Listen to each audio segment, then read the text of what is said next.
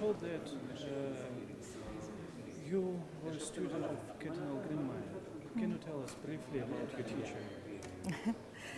Uh, in fact, I collaborated with him uh, since 86.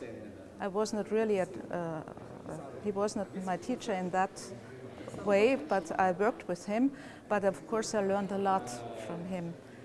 And I would say I admire that he, first of all, read an, art, uh, an author, studied it from the very beginning till the end simply read and make, made notes.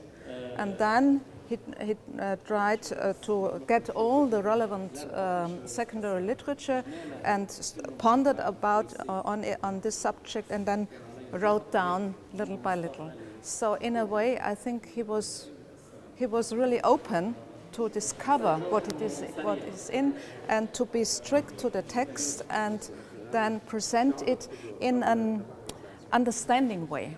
So he could, uh, he could uh, find out also the original meaning, the original idea of some of some authors which were not received then later, but to do justice to them, to their own view, because uh, this may also enrich our, our understanding You told also that you continue this project yeah, yeah. So uh, why so important to continue this project? What's its aim, its mission? I am continuing the work of Grillmeier on Christ and Christian tradition. The aim uh, of these volumes or is that he would say um, we have to bring out the picture of Christ of every local church uh, how their view on it um, in, and in a lot of literary genres, not only dogmatic treatises, but also sermons, even monastic rules, or homilies, whatever, in order to get how they perceived Christ, what he meant for them, and to, and to embed it also in the, in the current philosophical background the, the historical circumstances in order to really get um, their picture. And I think the, the, the, project then was that he said, for instance, um, before the rise of Islam, he wanted to show that, or at least that what is, uh, was the hypothesis, that before the rise of Islam, uh, the, uh, the apostolic kerygma was preserved, although in different languages, in different terminologies. But this has to be shown. This cannot be uh, um, presumed in advance.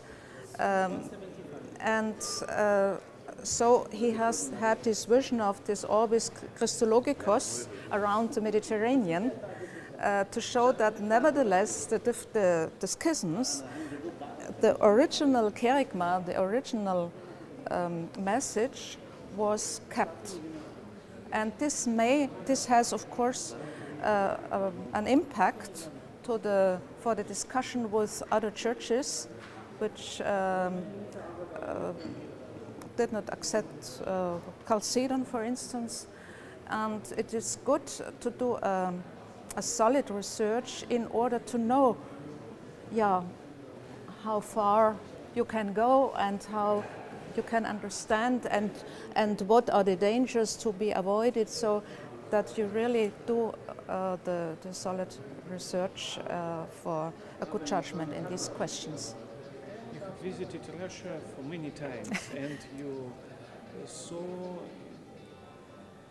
so our theologians, you talked to them. Yeah. Now you can see that our theological science and especially patristic studies yeah. in the uh, stage of uh, resurrection. Uh. Can you give us your opinion opinion of uh, uh, patristic researcher from the West?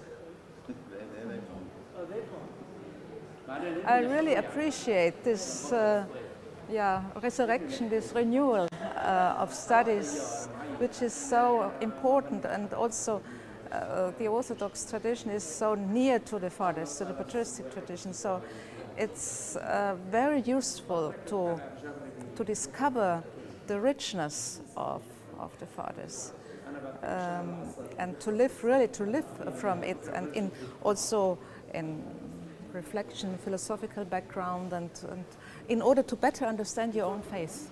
So that's uh, a very I, I'm happy to see that there is a development that is a, a, a very um, a, a very quick uh, uh, development and I'm, I'm really happy about it.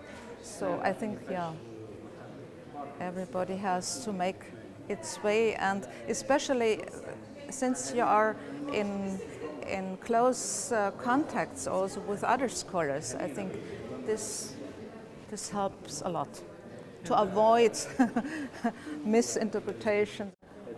I think it's also good that the different churches um, are really dealing with their own tradition. For instance, the Oriental Orthodox churches, they see themselves as, the, as those who transmit the tradition of their fathers. And I would strongly recommend that they really study it and do it in a scholarly way because we need also the witnesses of, of, the, uh, of these fathers seen through their own tradition. And the last question. Uh, Sin fathers lived many, many years ago, centuries ago. Yeah. What can they say to modern people? I must say that the reflections of the fathers often are very deep, often deeper than things, theological books you read today. Especially, I can just say, especially for for Trinitarian theology or Christology. These are very, they're long um, discussions over centuries, uh, of very subtle discussions, but you can learn a lot from it. Where are the dangers, where are uh, limits of your understanding, and this can correct your own, own faith, I think. And they uh, tried to live their faith, and they were also some of them, of course, were very near to the origins uh, to, of, of, uh, of, our tradition. So it's, it's worthwhile to read it and it gives you also courage to, to go your own way as a, as a Christian.